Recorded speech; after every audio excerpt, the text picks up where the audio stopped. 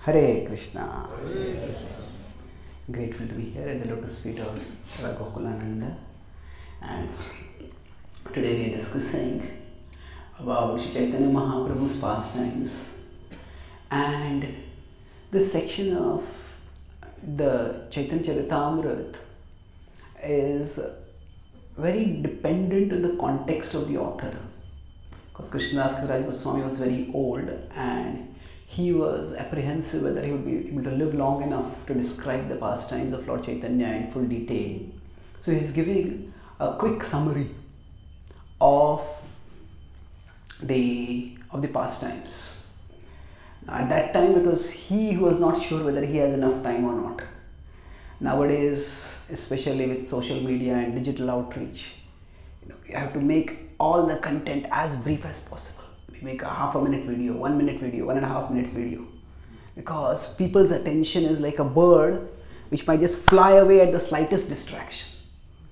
So, either way, what he's doing is concentrating here and quickly describing the pastime. So, uh, so the main point that he's describing is how Lord Chaitanya went to Vrindavan. And uh, Sanatan Goswami, when Chaitanya Mahaprabhu met him, Sanatan Goswami suggested maybe uh, going with so many people. He was, wherever he went, he was a magnetic, charismatic personality. It was not just his personality, but it's also his potency out of love of God. Both of them attracted people to him. And so many people were following him wherever he went. So then Sanatana Goswami said that maybe Lord, if you go with so many people to Vrindavan, uh, that might not be the best.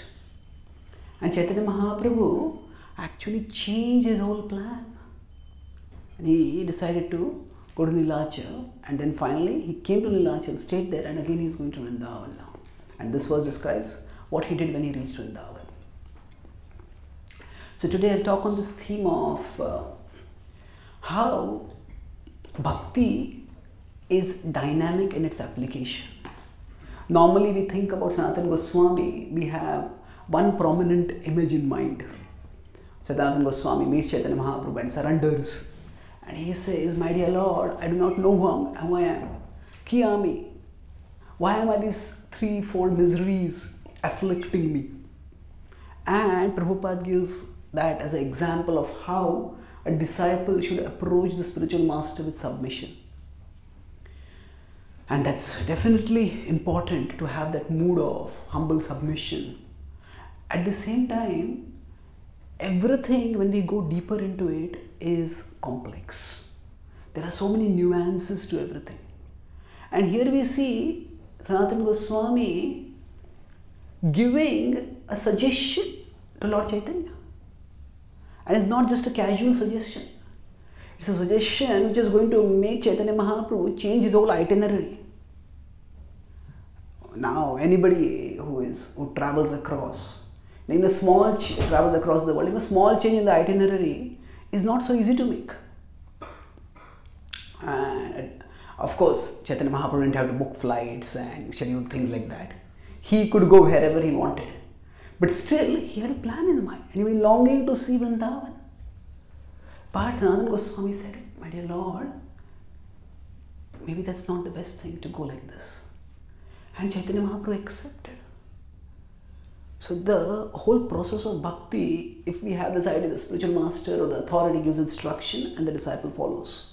That's true, but there is much more to that. Ultimately, the spiritual master and the disciple both are there for serving Krishna. So, the service of Krishna, the pleasure of Krishna, that is the most important thing. And here, Sanatan Goswami, we could say almost goes against the etiquette, not entirely, but just he gives a major suggestion. But he, so, at one sense, you know, who do you think you are? It might seem a little presumptuous. And Sanatan Goswami, at this point, uh, his exhibiting his keen sensitivity to the mood of Chaitanya Mahaprabhu and the mood of Vrindavan.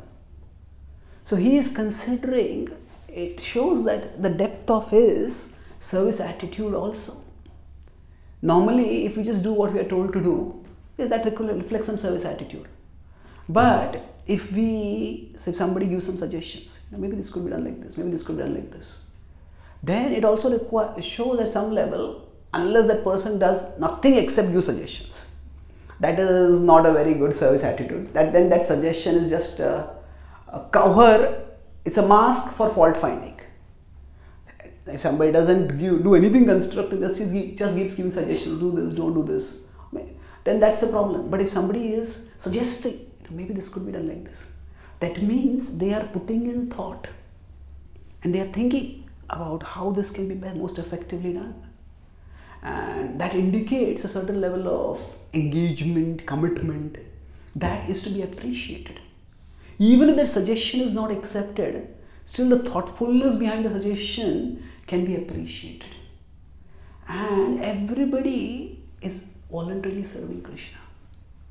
And that spark of the desire to serve Krishna, we all need to fan for each other. So, if somebody is giving a suggestion, if we appreciate their suggestion, even if we don't, don't implement it necessarily, then they feel valued for what they are doing. So Sanatan Goswami here gives a suggestion to Sri Chaitanya Mahaprabhu. Sri Chaitanya Mahaprabhu is God. And in terms of the hierarchy, he, Sanatan Goswami was never formally initiated by Chaitanya Mahaprabhu, but he was like his disciple. And still, Sanatan Goswami is thinking. He's thinking of both the mood of Chaitanya Mahaprabhu and the mood of Vrindavan. So the mood of Chaitanya Mahaprabhu, he, Sanatan Goswami feels, and Chaitanya Mahaprabhu ponders and agrees that Vrindavan is a place where if you want to relish the presence of Krishna, then if he's surrounded by many people around him, then he will have to pay attention to them. And then he will not be able to absorb himself that much in Vrindavan. Chaitanya Mahaprabhu, overall, if we see the last 18 years of his life, he stays in Puri. Now, of course, whatever the Lord does is transcendental. At the same time, we can also use some analysis to understand or at least learn from what the Lord does. So, Lord Chaitanya basically, we could say he, he loved solitude and he wanted close devotee association who could understand his intimate moods. And that's how he stayed in Puri for most of the time. In fact, his two world, his two tours, one to the south, southern part, one to the northern part, were immensely successful. And yet, if we consider from a perspective of a traveling preacher, just when his tours have been successful, he stops touring. He doesn't tour ever again. Just for six years he's touring and 18 years he doesn't tour. Now, what is he doing at that time? He's still preaching, but he's preaching not so much by reaching out to new people, but reaching deeper into the hearts of his followers.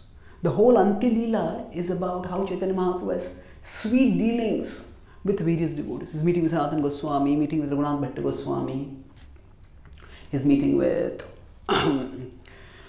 various people like that. Vallabha Bhatta, Ramachandra Puri, the whole Chaitanya, most of Antya is Chaitanya Mahaprabhu's meetings, unless of course it is his solitary ecstasies. So from the sheer amount of sheer way a person lives, we can broadly understand their nature. So Chaitanya Mahaprabhu loves solitude. And when he goes to Vrindavan also, he would love to experience Vrindavan in solitude. Hari Sauri writes in his diary that when Prabhupada was in Vrindavan, in Mayapur, he was uh, serving Prabhupada and he would give a massage to Prabhupada. And at that time, he felt that if no, if nobody was there in the room apart from him, then his Prabhupada would become very internally absorbed. He felt as his realization was, it's like Prabhupada's body is like his car, and just like sometimes a person leaves a car with the mechanic, you fix it up, and then he goes out for a walk. So he felt as if Prabhupada had left his body with him and he is going around Mayapur, relishing Mayapur. So Prabhupada would also relish, uh, there will be a special flavor when he was alone, free to absorb himself in the Dham. And Chaitanya Mahaprabhu also wanted to do that. So there is always a tension for us between our personal absorption and our service, which is meant to help others get absorbed. Of course, for most of us in the sadhaka stage, it is the service that uses absorption.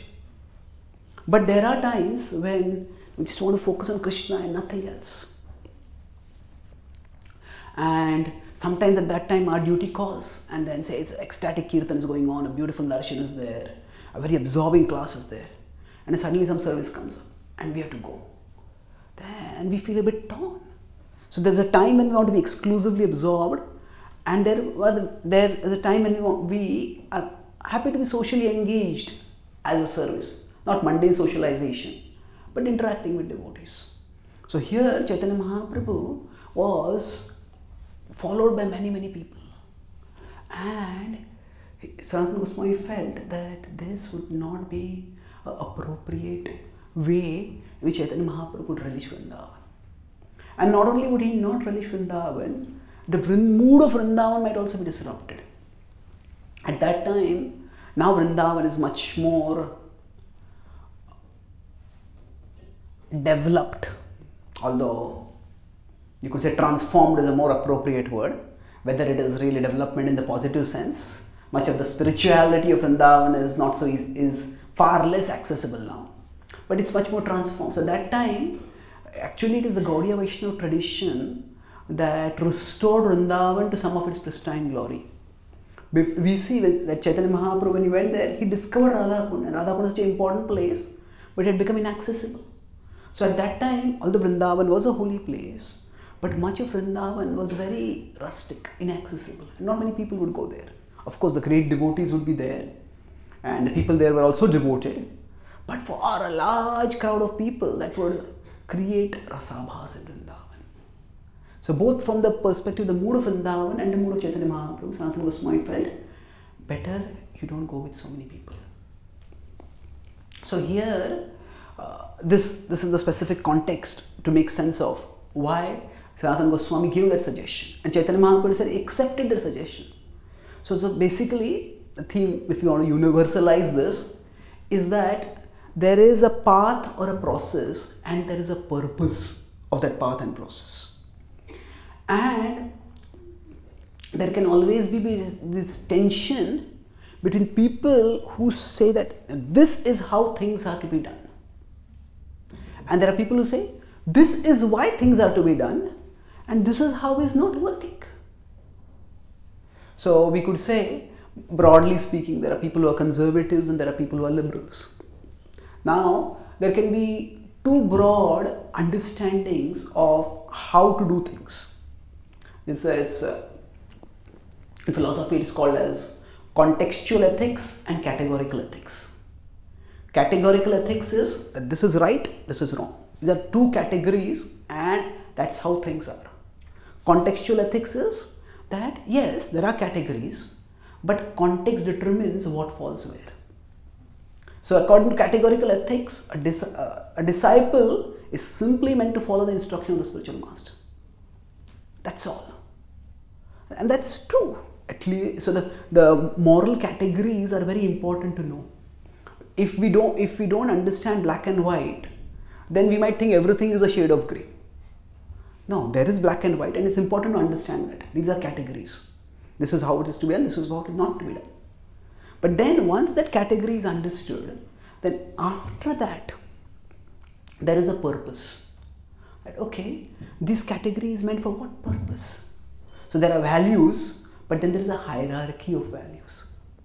So, being submissive to the spiritual master is one value, pleasing the spiritual master is another value being submissive to, if you would apply that to devotees in general, being submissive with devotees is one value, pleasing devotees is another value. Normally, it might be that being submissive is the way to please. But sometimes that might not be the way to please. Sometimes that might not be the way to serve the purpose.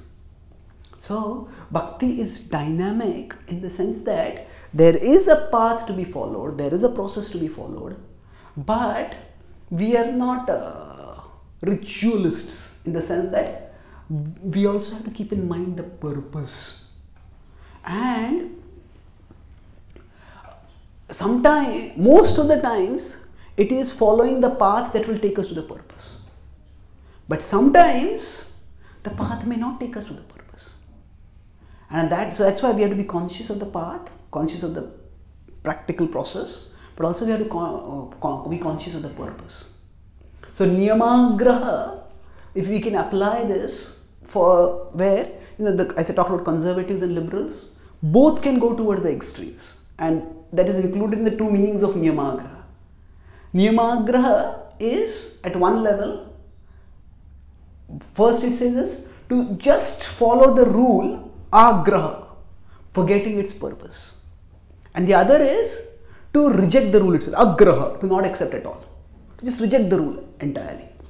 So we could say that those who are conservatives, they can err on the side of the first. Just follow the rule and not keep in mind the purpose. This is how things are to be done, but this is not leading to the desired. No, this is how it was done, this is how it is to be done, that's all. Nothing doing. So that could be, there could be an extreme where uh, we accept the letter but forget the purpose, forget the spirit. But the liberals can go toward the other extreme where I might say this path is, we're not moving forward by this path. And suppose we are, uh, we are maybe driving and there's a lot of traffic or there's a lot of road construction, we're not moving on. This path is not taking me to my destination. Let's find another path. So the conservatives are saying, stay to this path only. The liberals may say, let's find another path. But in trying to other, find another path, if suddenly they decide to go cross country, and you might find that is much more difficult. There is a, in giving up what has been done in a traditional way, there is a lot of, there is danger. And agraha, just rejecting the rule, because at present it is not serving the purpose, that can backfire. Tradition is like the tree on which we are sitting. We are, on, we are all sitting on a branch and the tradition is like the tree of a branch on which we are sitting. And if we break the branch, we don't know how high we are. And we don't know how badly we will fall. So we can't be indiscriminate in just saying, oh, this is not working, give it up. No, we have to have, we have to be conscious that this path has been followed by many, many people in the past, and we can't just we can't just simplistically, casually, nonchalantly reject it. So the extreme in liberalism is this is not working, just give it up. So both can go toward the extreme end. This is niyamagraha in either way. So if we are conscious of the path, okay, this is the path to follow, and we are conscious of the purpose, then we can see this is the path I'm following and this is the purpose. Is this taking me there? And if I go don't go this way, if I go this way, am I going to reach there faster? So as long as if we, stick only to the path, then this is what we have been doing. How dare you change it?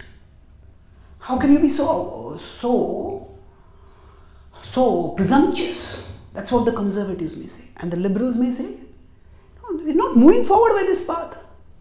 How can you be so blind? There's no there's no progress. But we have to look not just at the path, at the purpose. And this we see this mood we see even in uh, the famous verse from the Padma, uh, from the Purana, from the Vishnu Purana. सर्वविधि निषेधासुर एतयोरेव किंकरम स्मर्तव्य सततम Vishnu विस्मर्तव्यम न जातु चेत the purpose of all rules and regulations is to remember Krishna and to never forget Krishna. All rules and regulations are meant to be subordinate to this purpose. So I'll talk a couple of examples of how this process and purpose uh, need to be integrated. If you look at Sri Chaitanya Mahaprabhu's life, Sri Prabhupada is the most prominent follower of Sri Chaitanya Mahaprabhu in the modern times. Nobody has done as much to spread Chaitanya Mahaprabhu's legacy as Srila Prabhupada has done. And Srila Prabhupada often insisted that I didn't change anything. That you know, I just followed my spiritual master. And that meant that he, we see, what does it mean? Prabhupada says that my purpose in writing the Bhagavad Gita, he says in the Bhagavad Gita introduction, our purpose in writing the Bhagavad Gita is the same as Krishna's purpose in speaking the Bhagavad Gita. Krishna's purpose in descending to the world. That is, raising people to God consciousness.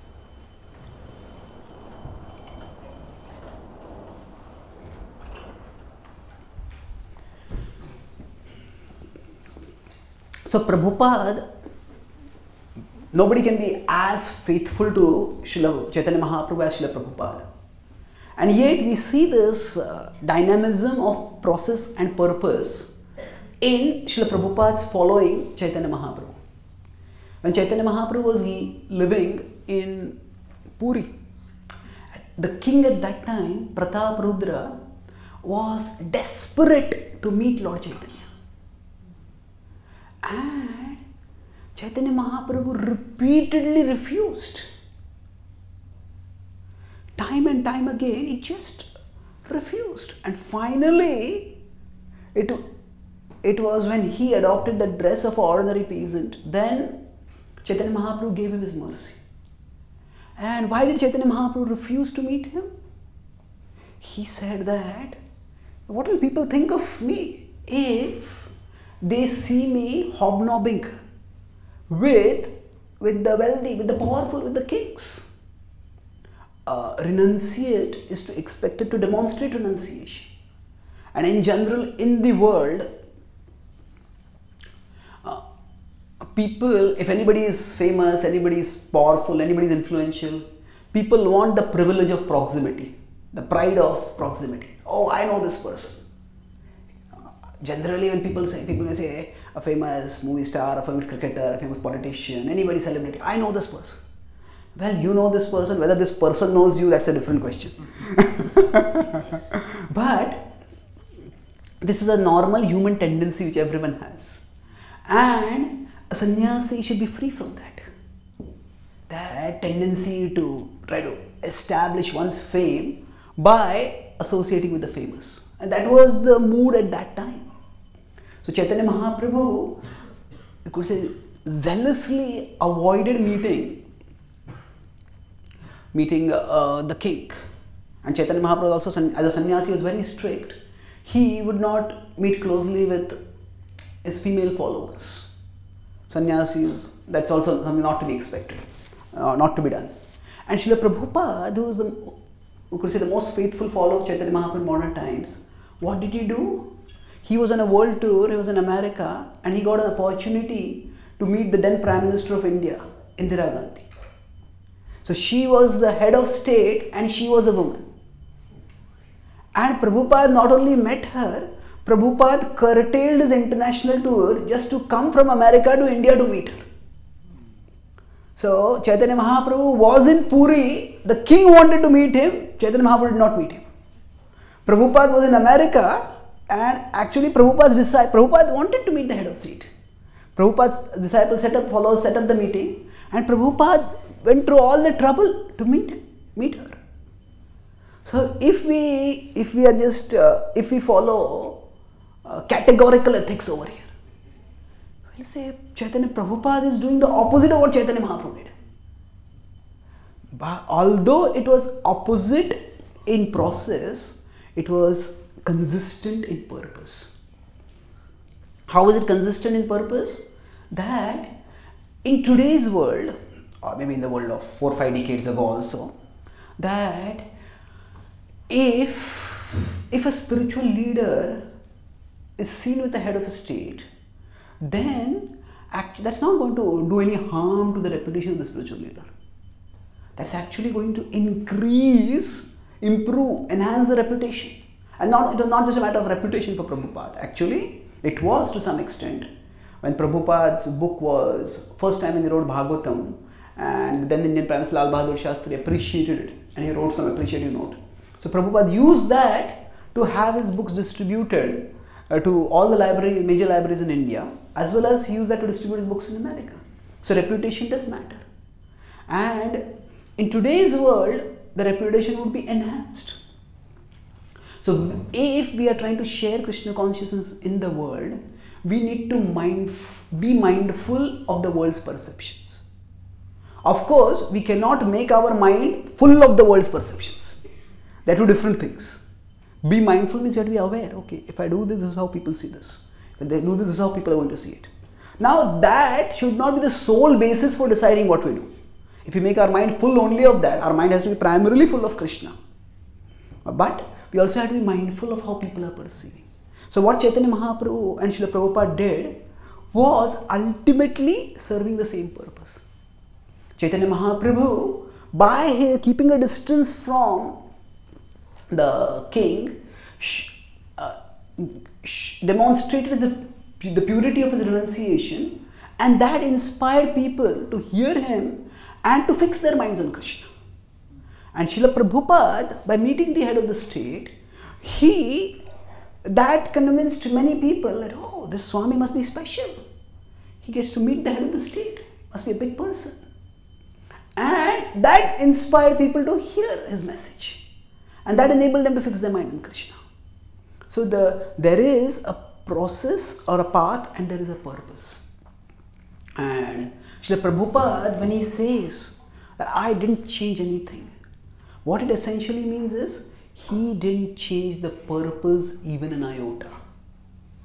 He didn't change the purpose even an iota. Uh, the purpose was consistently in his mind, and that's what he pursued constantly. But the specifics, uh, Prabhupada was faithful and he was resourceful.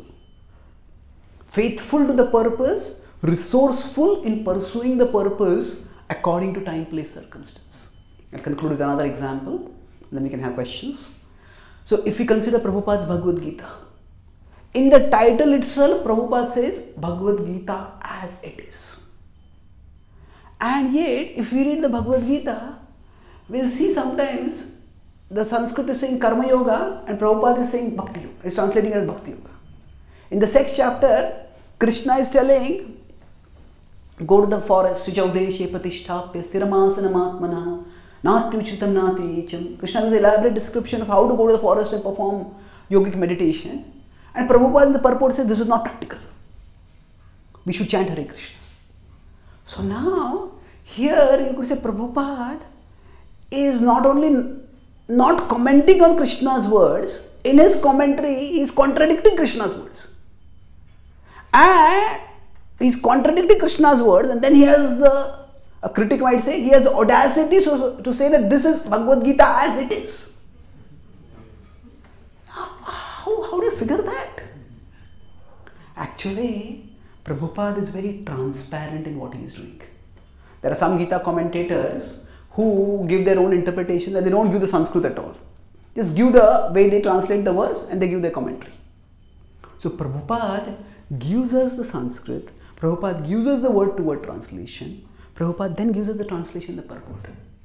So, what Prabhupada does, he doesn't change, he lets us see that the original Sanskrit is Karma Yoga. But then he is translating it as Bhakti Yoga, as Krishna consciousness. So, Prabhupada doesn't hide what he is doing. And Prabhupada says in a lecture what his purpose was. Prabhupada's mood was that people in Kali Yuga are so distracted. Mandabhagya upadruta. And people not really focused in understanding scripture deeply. So his mood was that people might just, people are so lost spiritually that they might just pick up one book and read one page. And in that one page, any page of his book, Prabhupada, people, if people would open, Prabhupada wanted them to get the essential message of the scripture. And when if you say Prabhupada is contradicting Krishna, it's not exactly correct. Because Krishna himself contradicts himself. In the sense that Krishna gives Jnana Yoga, Krishna gives Dhyan Yoga, Krishna gives Karma Yoga, but then Krishna himself says, Sarvadharman parityajya mamekam sharanam vraja. Just give up all varieties of religion, surrender to me. Now, when you read this verse, you may think, if I had to give up all this, why did I have to study all that? no, the point is that you study all that to see how all that culminates in this. And then when Krishna says, give up all this to do this, give up all other paths to practice bhakti, it doesn't appear fanatical. If all the reasoning prior to that is not given, it will appear fanatical. But when it is followed by all the reasoning, it seems not it is not seen not as fanatical but as philosophical, as the conclusion and culmination of the philosophy. So again, in terms of process or path, what Prabhupada may be doing seem to be objectionable. Okay, this is the words, but the purport is the opposite. But in terms of purpose, what Krishna is doing at the end of the Gita, Prabhupada is doing throughout the Gita. So Prabhupada is fulfilling Krishna's purpose. And thus, just as Srila Prabhupada was resourceful, we also need to be resourceful in our personal practice as well as our sharing of Krishna Bhakti. That there is a process, there is a purpose. And we have to make sure that we practice and share Krishna Bhakti in a way that serves the purpose. Even if that requires at times uh, doing things in a way that might not be the norma- norma- normative way. As Sri Sanatana Goswami did when he gave a suggestion to Chaitanya Mahaprabhu to revise his plans to go to Vrindavan. So I'll summarize. I spoke today on this theme of the dynamism of bhakti, how Sri Chaitanya Mahaprabhu was going to Vrindavan, Sanatan Goswami, despite being his disciple, despite have, not having met Chaitanya Mahaprabhu many times, suggests, but better don't go with so many people. And Chaitanya Mahaprabhu listens to the suggestion and revises the itinerary, goes much later. So, what's going on over here? It's it seems very opposite to the etiquette of how a disciple should relate to the spiritual master. Follow instruction, not give suggestion.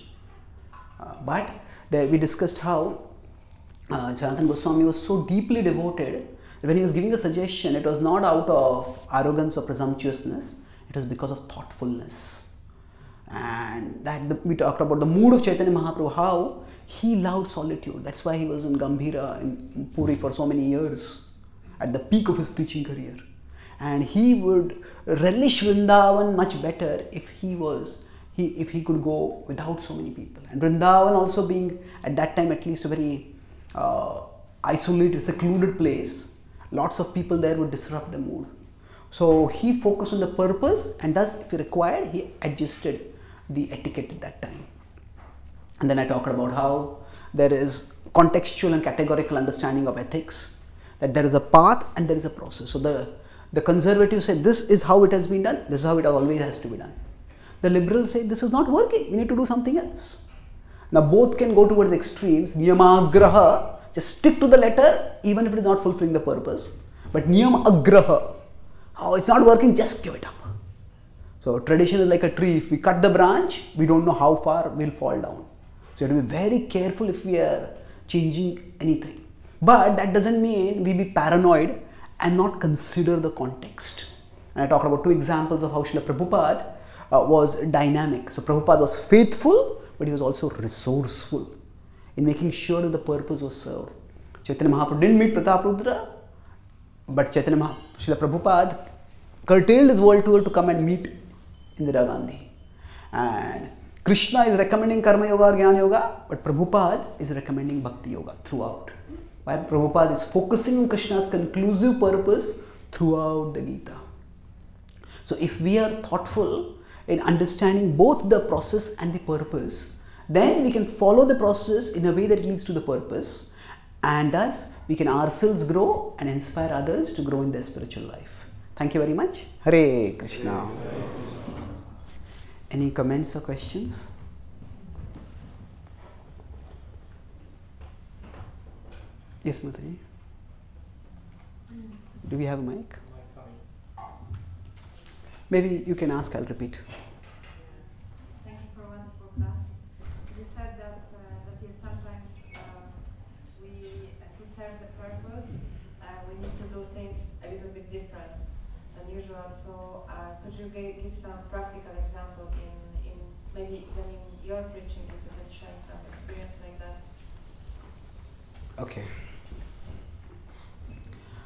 In my preaching uh, of doing some things different from the way they are done, well, there are many. Mm. when I started traveling to the West, maybe five, six years ago, initially I was thinking that to become spiritually conscious, you have to give up bodily consciousness. And at one level, that's true. And I had read and heard about how yoga has been reduced to simply body, bodily exercises for looking better and stuff like that. So I had this idea that people practicing yoga are in bodily consciousness. And when I when I went abroad and uh, especially in America, I was invited to give talks at yoga studios, and then after that, people would ask questions. And then it struck me that many of these people were very spiritually inquisitive. So, yes, normally bodily consciousness is the opposite of spiritual consciousness. Mhm. Yes, but people are anyway in bodily consciousness. But what yoga outreach can do is that use people's bodily consciousness to foster spiritual consciousness. Because what is happening? If yoga helps them do what they want to do, maybe be healthier, look better, that at least increases their faith in yoga, increases their openness to the tradition from which yoga has come. And then it can give them bhakti. So traditionally we have Baldev Vidya Bhushan in his Vedanta Sutra commentary, Govinda Bhashya, has a whole section on critiquing yoga. And he's contrasting yoga and Vedanta. These are six systems of philosophy in the Indian tradition. So yoga and Vedanta are two competitors, you could say. And he says how yoga is inadequate and Vedanta is conclusive. So there is that tension. Uh, and when yoga is taking people away from bhakti, we need to categor- we need to present the difference, highlight the difference. But today, for many people, yoga is the way to bhakti because that opens them to the Indian wisdom traditions. Uh, so I realized that uh, yes, it's bodily consciousness, but you could even say all bodily consciousness is not the same. There is bodily consciousness that takes you away from spiritual consciousness, and that there's bodily consciousness that opens people to spiritual consciousness. So, one of the things which puzzled me when I started coming to the West was that I saw so many people have pets, and even devotees have pets. So I just couldn't digest it. You know? We already have so many attachments, and why add one more attachment? But then, as I spend years, talk with people, talk with devotees, yes, you could say it's one more attachment, but there's context. Uh, people, at, the family structure is not that intact in the Western world. People are lonely, and uh, okay, you could say that oh, that's another material attachment. It's true, but maybe it's much better than spending your whole day playing video games or surfing the net. Just, just wasting time on social media. Maybe interacting with another living being even if it's not a human living being it's uh, better than just surfing the net. Or it might be just be better than sinking into depression. So yes if one is becoming attached to a dog instead of krishna then definitely we don't want that. But for if somebody is in a context where I don't know, now there's one devotee, Mataji, she told me that she has started a whole. Uh, she was a she was a like, foster child, and her only thread of stability was she had a pet dog, and she came to bhakti, and then she gave up the. She said she was heard that dogs are attachments, so she gave it up. But then she said, when I would chant Hare Krishna, I would not think of Krishna, I would think about my dog. so now she realized that you know, I just can't give it up. So now she has started like a, uh, a clinic. See, for especially children who come from broken homes or, or orphans, they often get traumatized. So there, one of the ways to help them calm down is to keep them with pets. So she has started like a clinic you could use that word where there are all these pets and there are dogs and then she has put all pictures of krishna over there and these children play with the pets and they calm down and she tells them krishna stories so now she's, uh, she's told me that actually it was my dog that brought me to god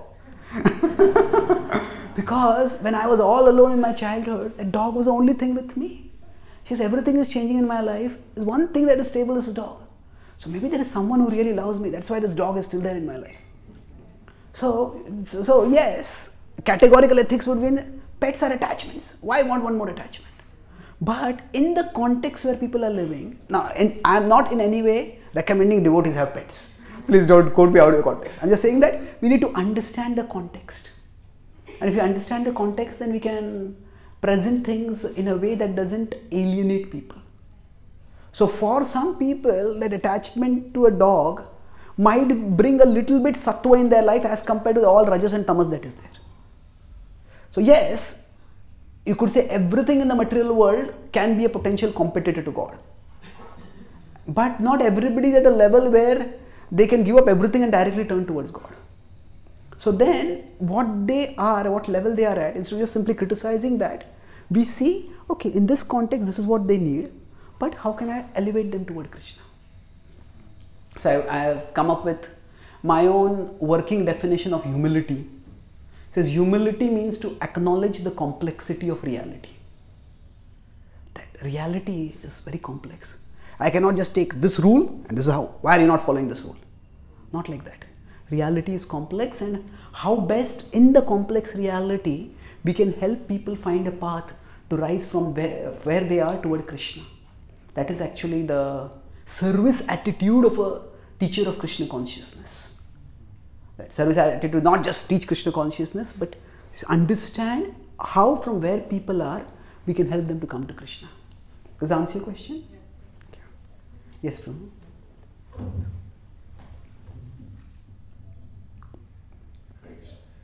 we learn that Krishna is Swayam Bhagavan and he, he never leaves Vrindavan.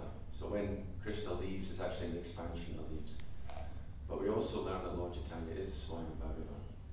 But he's outside Vrindavan trying to go to Vrindavan. So try to understand that. Okay. So Krishna never leaves Vrindavan. It's only the expansion leaves. But Chaitanya Mahaprabhu is Swayam Bhagavan and he's away and he has to endeavor to get to Vrindavan. How do you understand that? yes, when the Lord expands, especially in terms of where the expansion is a completely different person. Say that Krishna expands as Balram or Krishna expands as Sri Chaitanya Mahaprabhu.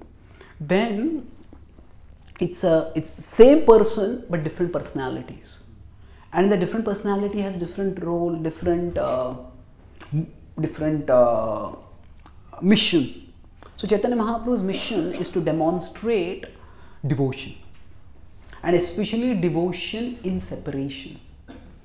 ऐ दीन दयाद्रनाथ है मथुरा नाथ कदावलोक्य से हृदयं ततलोककातरं दैत भ्राम्यति किं करोम्यहम् So this is the mood of Srimati Radharani when Krishna has gone to Vrindavan. Hey, you are Vrindavan Nath, but you have become Mathura Nath now. We can't see you and I don't know what to do. I'm dying. I'm afflicted. So in that mood of separation, what was the ecstasy that was being experienced that Krishna wanted to experience. And the whole mood of Chaitanya Mahaprabhu is uh, Krishna, uh, that separation, Radharani relishing love for Krishna in separation from him. And that's why Chaitanya Mahaprabhu, most of the time, he is separated from Vrindavan. So, in a sense, Chaitanya Mahaprabhu's relationship with Vrindavan is like Radharani's relationship with Krishna.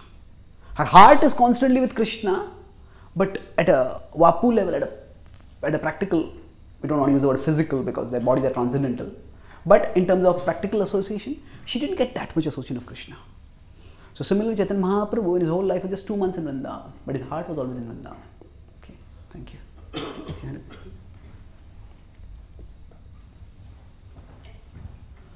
You're saying that we have to follow the process to get to the purpose. So basically, we have to follow the instruction of the Guru to eventually one day go back to the Lord. Yes. But then the Lord always is always testing our determination. Why is He doing that? If we are following the process. If we are following the process, why is the Lord testing our determination? The essence of commitment is recommitment. The essence of commitment is recommitment. We go along a particular path, and the nature of the world and the nature of the mind is that they will divert us And then you have to again come back. Get diverted, we again come back. यतो यतो निश्चलति मनश्चञ्चलमस्थिरं ततस्ततो नियम्यैतद् आत्मन्यैव वशं नयेत् wherever and whenever the mind wanders, bring it back under the control of the self. Krishna says in 625 and, and 26 in the Bhagavad Gita, 626 primarily. So there, the mind may stray away, but don't let it stay away. It will stray away. So, uh, so when we say Krishna tests us, basically what is happening is that Krishna is giving us options, and he wants to us to choose him and not choose the other options. And it is through choosing Him that we show our devotion. So, whenever we say it's a challenge, it's essentially say if we have a, challenges can be broadly of two types. We can have temptations and we can have tribulations. Temptations, oh, there's so much pleasure, why should I stay fixed in Krishna? Or tribulation, there is so much trouble, I must deal with this first. I can't stay focused on Krishna right now. So, these are two main distractions that we have in life. Now, of course, we need to stay away from temptation, and if trouble is there, we need to deal with the trouble. But we don't want to, even when we have problems, we don't want to become problem conscious. We want to be Krishna conscious and deal with the problem. So we may have to live with pain, but we don't have to live in pain. We don't want the pain to consume our consciousness completely. So the test is that when the world's ups and downs come, do we just let our consciousness go in those ups and downs? Or do we still put krishna first? And then deal appropriately with that situation. The challenge is in that sense when krishna is testing us he's basically giving us an opportunity to choose him. That's the essence of the test. So i was in australia Uh, some time ago and then some one person in melbourne asked me this question if God is good and God wants us to do good, then why are the good choices so few and the bad choices so many?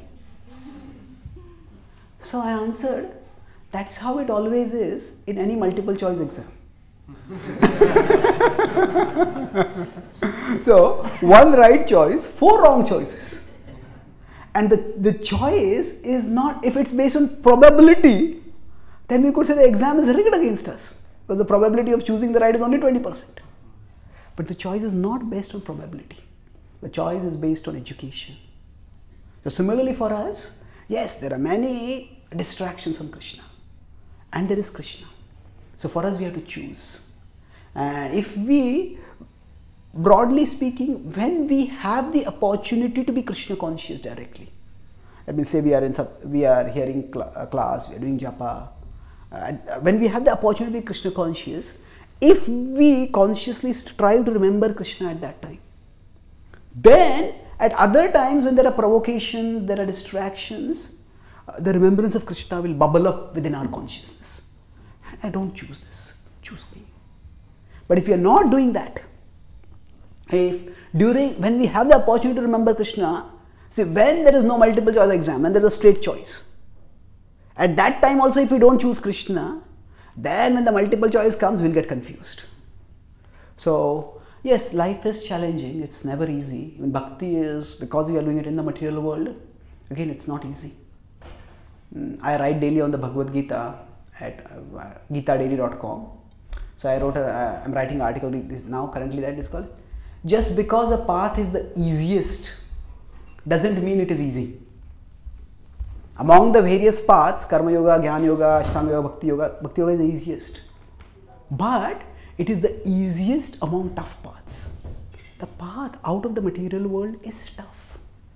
What to speak of the path out of material world? Even living in the material world is tough.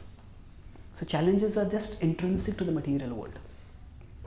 And uh, Krishna is testing us so that he, we have the opportunity to choose him, both at the time of the test and also when preparing before the test comes. So thank you very much. Srila, okay, I think we'll talk one to one. Shri Chaitanya Charitamrita की शिल प्रभुपाद की गौर भक्त वृंद की पिताय गौर प्रेमानंदे